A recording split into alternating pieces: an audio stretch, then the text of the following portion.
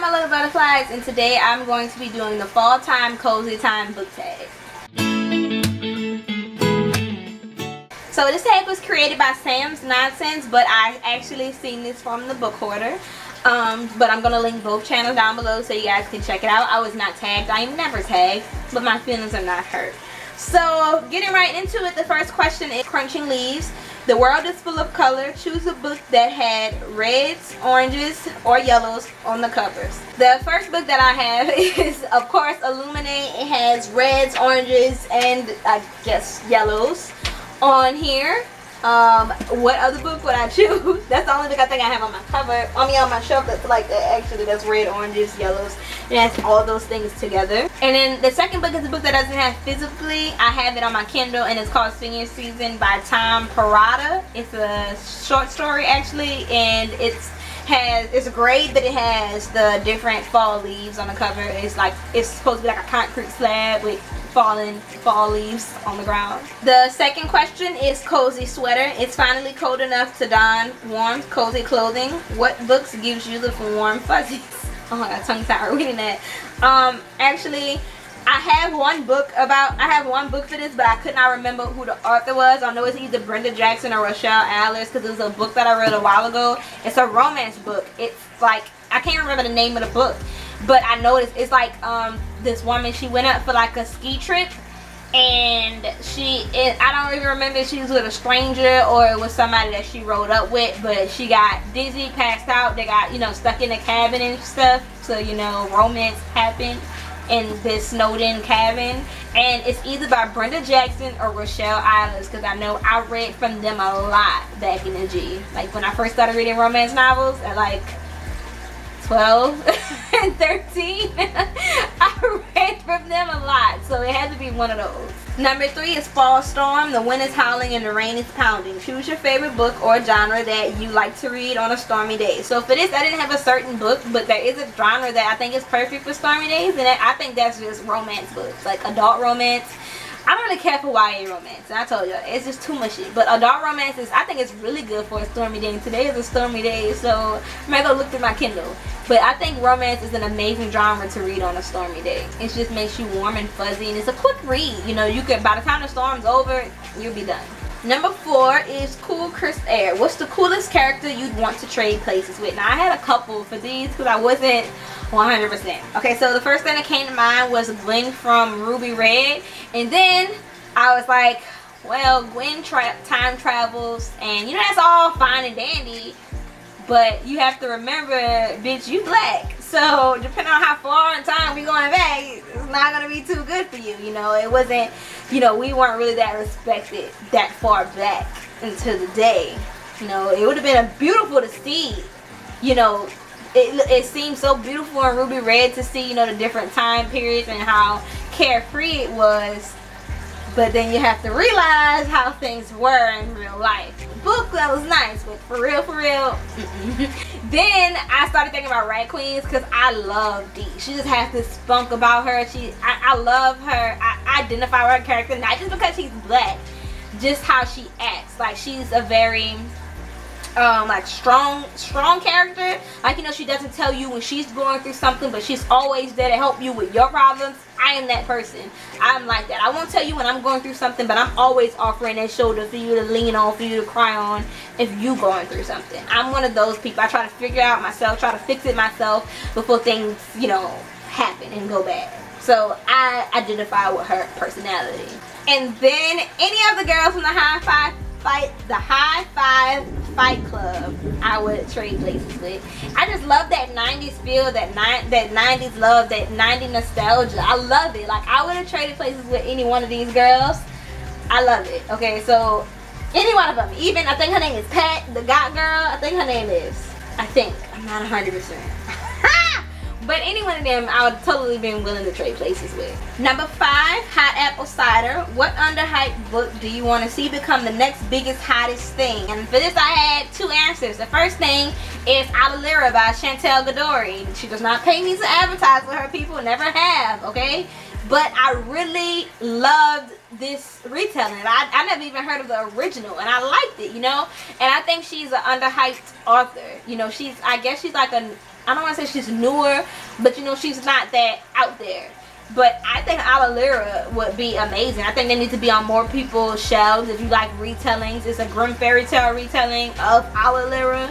And I really enjoyed it. And the next thing that I have is I have a whole series. the Bluford series, people underhyped as fuck. Like I think series is very underhyped. This is like brings back amazing school memories, elementary memories, and middle school memories. And did we read these in high school? I don't know if we read any of these in high school, but the Bluford High series needs to become like a Netflix series or it, I, why don't say a movie? I think we should do a, a Netflix series and do like an episode, like an hour long episode for each book. There's 20, 21 books, okay? 21 books, people. We can get a, a good season or two out of the Bluford series, okay? I think they're very underhyped. They really prepare you for high school. I've never did with any of this in high school, though, y'all, but it makes high school seem like uh, like a, a a fantasy world reading these books. This is like, where do they do this at? You know, I love Luther. Like, I will always think they underhyped and they need way, way more press and more acknowledgement than they get. Then number six is coat, scarves, and mittens. The weather has turned and it's time to cover up. What's the most embarrassing book cover you own that you like to keep hidden in the public? So for this, I was started thinking any of my romance books. Any of my romance books not because the cover is bad and most of the time it's the if the cover is decent it's the title that'll kill you okay? So any of my romance books but i'm like those you won't see anyway because a lot of those are on my kindle okay? So then physically the only book that i have physically that i am kind of embarrassed about is a justified bitch by hg mckinnis and it's the title because i used when i was reading this um i was working at a grocery store so I would have it sitting at my register when I didn't have customers. So then when customers come in there, they see it up there and it's kind of, I can't say, oh, it's called a justified bitch. I just showed them the book and they're like, oh, okay. So then it's like, yeah, kind of embarrassing, you know. but I love this book. It was amazing. I think it did five stars. I wonder when it's supposed to be part of a series, a mystery series. This is at least that's how it was advertised. This is supposed to be book one. So, and this was a um, arc that I got. So hopefully, I keep checking and I want to know where it's book two because I love this. Now, don't get me wrong, I like it by itself, but if it's a series, then, you know, I'm ready to follow whoever's next. You know, so ready. Then the last question I have is pumpkin spice. I don't really get the hype with pumpkin spice, though. Like, I've never had pumpkin spice anything my whole life. Never. Okay? So, I don't get the hype with it, but what's your favorite fall time comfort food or foods and for this um i didn't pick food because i don't really have a favorite comfort food for fall unless you know you know it's about to be gumbo season because you know thanksgiving and christmas coming up but that that doesn't count as fall but you know it's gumbo season so down here I love me some gumbo. It's about to be dressing season. I love me some turkey dressing or whatever. You know, delicious. but but when I started thinking about this, I was just like, for fall though. Because that's more close to winter. Um, I, one of the things was hot chocolate. That was like the only edible thing on my list is hot chocolate. I love me some hot chocolate. I like tea too, but I drink tea any time of the year. That doesn't count. I love me some hot chocolate. I don't remember the last time I had a nice cup of hot chocolate. And then the last thing I have is not edible. I, I, don't think it is. Uh, some people have weird things out there but my fall scented candles and wax melts okay i don't have any new ones this year yet i'm waiting on my mom i need to order um, she sells Scentsy in case you guys are looking for a Scentsy representative. I will link her down in the description box below. I don't know if I'm supposed to do that, but I'm gonna do it anyway because um, her scent smells so freaking amazing, okay? Um, I need to get, I'm trying to get ready for fall right now. I burnt out my, uh, what it was, pecan waffle candle that I had last year. Oh, it's gone. I burnt it to the bottom. It was amazing. I need to get another one of those, but I need to get me some wax melts too. Because I've been really into wax melts lately since my mom started selling them.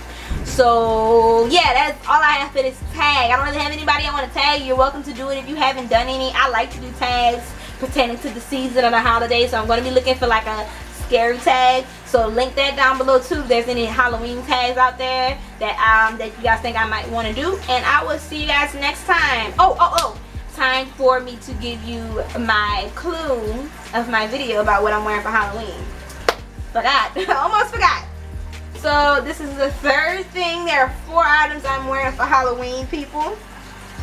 This is number three. It should be coming together. It should be coming together. So the third item that I have to see if you can guess what I'm going to be for Halloween are these purple glasses. So let's remember the first item that I had was my orange wig. The second item that I showed you was my green cargo shorts. And this item is my purple glasses. So, three out of four of the things, guys. I would love to hear your guesses down below. If you haven't already guessed, I would love to see how close you are, how warm you are to guessing this character that I'm going to be. And the sad part is, y'all, I love these glasses. Like, I was going to take the lenses out, but I like them. I honestly like these glasses. and I'm like, God, I just got them for, you know, yeah, for Halloween, but I need to get real glasses, and I want to know if I can take the lenses out of these and get whatever prescription lenses I'm going to need, and put that in these glasses, because I actually like these glasses, though. Like, I don't know, y'all. But, I would love to hear your guesses down below. Thank you for watching my video. You're welcome to do this tag if you do it, whether you do it on the video or on your blog, and link it down below so I can check it out. I would love to see. Thank you guys for watching. Don't forget to like, share, and subscribe. And I'll see you guys next time. Bye. If it's meant to be, it'll be, it'll be. Baby, just let it be. So won't you ride?